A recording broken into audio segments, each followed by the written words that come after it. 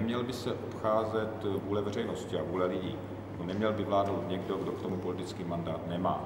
To znamená, politická strana, která nezískala mandát lidí, by neměla si dělat pomocí ministrů předvolební kampaň do dalších voleb. To je to, co nám připadá. A podpoříte takovou vládu? No tak my už máme dokonce usnesení ústředního výboru, ve kterém se říká, že nepodpoříme v této sněmovně žádnou vládu, protože my sami jsme přesvědčeni, že jsme v patové situaci. Tady není možné sestavit dnes efektivní vládu, která by něco smysluplného byla schopna realizovat. My víme, že tady máme 54 poslanců. Tady není šance realizovat program sociální demokracie a proto vlastně bychom byli rádi, kdyby se tu vedly rozhovory na to téma, že ideálně by bylo rozpustit sněmovnu a zeptat se lidí a vytvořit mandát vládnutí pomocí názoru lidí a hlasů voličů. Jako to je to, co teď chybí. A bylo by dobré, kdyby to byla nějaká vláda, která by překlenula, řekněme, to období tří měsíců. A, no ale kdyby to byli opravdoví odborníci, a ne kdyby tady, tady to vypadá, že spíš vybíhá eh, na, pole, na, na hřiště vybíhá, vybíhá další politický manšaft. A to samozřejmě teď vyvolá se velké, najednou se stává z toho bojiště. Pravice snad už ani nemá důvod odcházet, protože má nové téma, bojuje o sněmovnu a ta, to může být prostě měsíce vleklé krize, kterou ta situace vytvoří. Takže já se obávám, že tím, že to řešení nebylo dohodnuto s těmi stranami ve sněmovně, tak se tu naopak vytváří téma, které se nyní bude řešit a budeme se tím zabývat, ale to nebude k ničemu té zemi, protože do sněmovny by měla jít vláda, která má šanci tady najít podporu a ne ta, která tady jde navzdory sněmovně. Eh, to nepovede k výsledku. Nicméně mezi těmi jmény jsou i bývalí členové ČSSD. Současní členové. I současní. Ano, ale e, samozřejmě, ale jsou to především lidé dnes politicky blízcí Miloši Zemanovi. Dokonce se o nich mluví jako o budoucích kandidátech a lídrech v některých e, krajích pro SPOZ.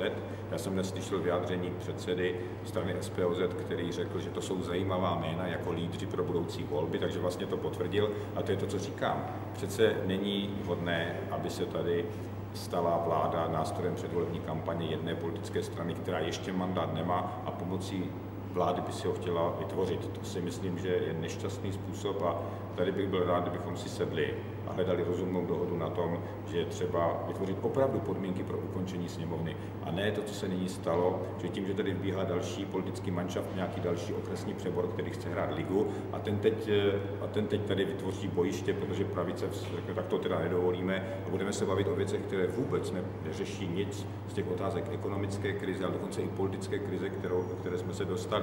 My bychom měli si říkat, proč tady vznikla ta politická krize, co to způsobilo, hledat na to odpověď a samozřejmě odpověď na ekonomickou recesi. Žádná prozatímní vláda tady nedostane žádné investice.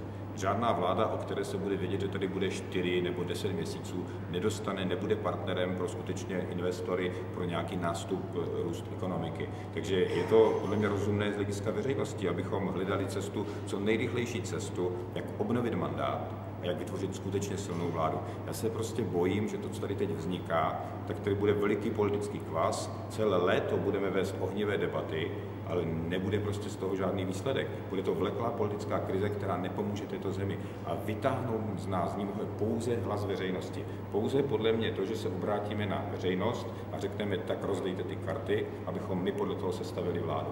Pokud to nedokážeme, tak budeme ztrácet měsíce a nemůžeme si to dovolit. No, nicméně vy máte preference dobré. Eh, strany koalice jsou na tom podstatně hůře, takže pro vás vlastně tato situace, řekněme, není až tak špatná. Ty, kdybych si mohl dovolit teď nemluvit jenom o těch preferencích a podobně, ono to může být, když to bude trvat několik měsíců vleklá krize, tak budou preference všech mizerné. Takže to může vést naopak k tomu, že ta situace se bude stávat stále nepřehlednější a veřejnost tím bude stále více unavená, protože se tady bude projevovat neschopnost. Jestliže se prostě nevezme v potaz ta situace ve sněmovně, tak prostě nebudeme schopni z toho najít cestu ven. My jsme náš návrh je pořád na stole a my se budeme snažit jednat. Prostě dohodněme se, skončeme ty debaty, přestaňme bojovat, dohodněme se na ukončení sněmovny. A prostě je škoda, že prezident nevedl ta jednání takovým způsobem, aby ty strany skutečně vedly nějakému výsledku, který budou akceptovat. Na to jeho vyhlášení přišlo, přišlo poměrně překvapivě, že tisková konference, která se najednou proměnila v nominaci premiéra.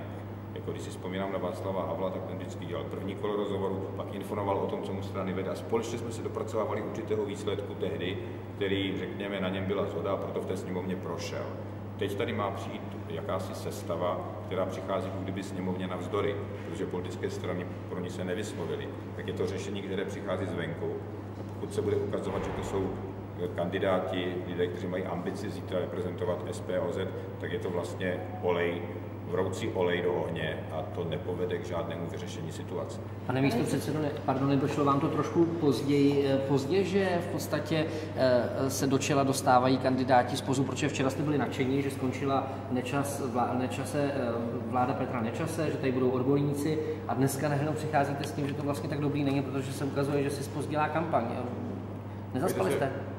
To si myslím, že my máme těch 54 mandátů ve sněmovně a my jsme, to, ta krize nevznikla, ta krize vznikla díky tomu, že se tady vládlo určitým způsobem, kdy se stále více platilo, že se tu většiny vládní vytvářejí pomocí přeběhlíků, pomocí korupce. Dokonce z toho vznikla ta politická krize. To znamená, my vítáme to, že se nebude pokračovat to, co tady bylo do posud, že se tady skládaly stojničky naprosto neprůhledným způsobem. To je prostě nutně dobře, protože jako ti, kteří nesou odpovědnost za tu politickou krizi, přece by neměli dále pokračovat.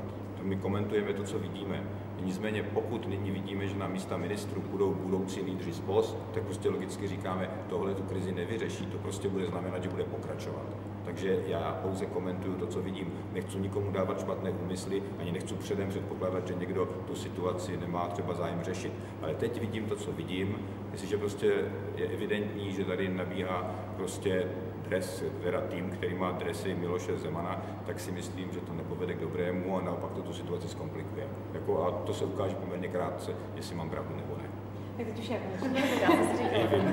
No, se zeptat, ale každopádně jeden spor nám to malinko asi tady ukončila, to spor o velvyslance, protože uh, je tak pan Rusnok řekl, že by neměl problém s tím vyhovět panu prezidentovi a pokud to bude pan ministr Kohout, tak by s tím asi také problém neměl. Jak vnímáte, vnímáte tady to, že v tomto případě dá se říct, že pan prezident vyhrál, protože paní Livie Kozová očividně bude moc na Slovensku?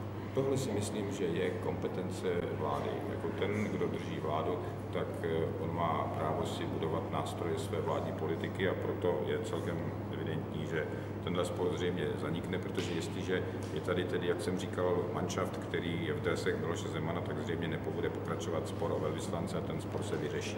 Je to sice poněkud zvláštních okolností, které nejsou podle mě úplně ideální, ale nicméně to, že tento sport končí, to pokládám za samozřejmé. A už jste požádali o vládní mimořádné schůze, kde by se mohlo my to máme připravené, ty podpisy. Zároveň e, se snažíme dobrat schůzek s našimi partnery, zde především s vládními. Tam je teda ten hlavní partner pro toto jednání. Máme určitou představu, chceme iniciovat mimořádnou schůzi sněmovny právě s tím bodem o spuštění sněmovny. Takže máme představu o čase, máme podpisy a jsem si jist, že to nakonec provedeme. Ale chtěli bychom ještě využít ten čas k jednáním s vládní koalicí, abychom je, se snažili přesvědčit, že tady tento spor bude neplodný, nepovede k žádnému výsledku a že nakonec na tom prodělají všichni. Takže ale hm, to je, to je to, co se zřejmě ještě udá a to rozhodnutí naše je podle mě docela definitivní. My určitě se budeme snažit tu debatu tady otevřít v polovině července a to usnesení prosadit.